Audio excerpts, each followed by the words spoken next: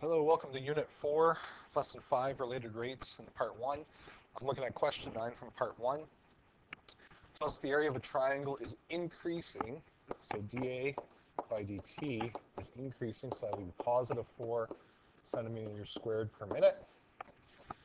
And its base is increasing, so I'm just giving myself a picture here. So here's my triangle, my base, my height.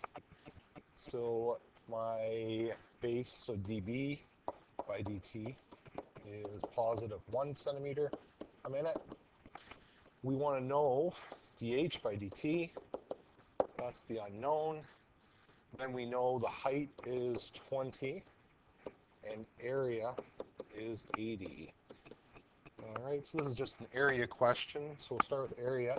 That's 1 half base times height.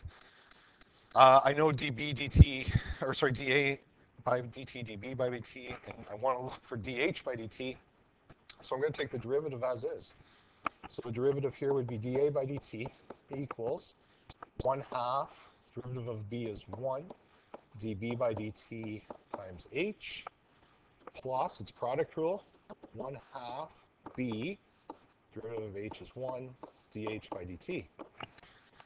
Still cleaning that up, we have dA by dt equals 1 half dB by dt plus 1 half, oops, I'm missing one, h over 2, I guess, and b over 2 dH by dt. I just lost my variables there.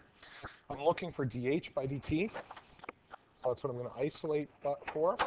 You know what? I'm going to multiply everyone by 2 just to get rid of my fractions. So here we go.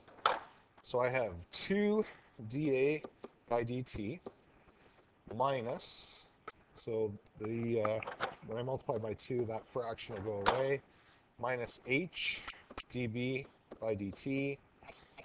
Again, multiply that by 2. I'm going to divide that by b. That's going to equal dH by dt. So what do I know? I know the change in area. I know the change of the base. I know h. So I'm going to find b at that point.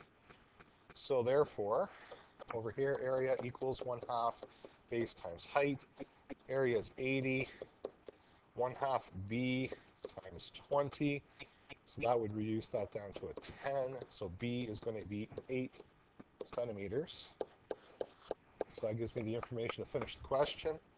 So 2 dA by dt is 4 minus h is 20. The b by dt, which is 1, over my b value, which is 8. So using control of my equal signs, here we go. dH by dt, so 8 take away 20 is negative 12 over 8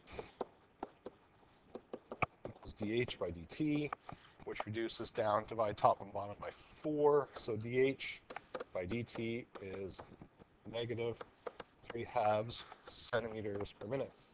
So that means that the height has to decrease in order for that to maintain uh, its current rate. So therefore, the height is decreasing. Decreasing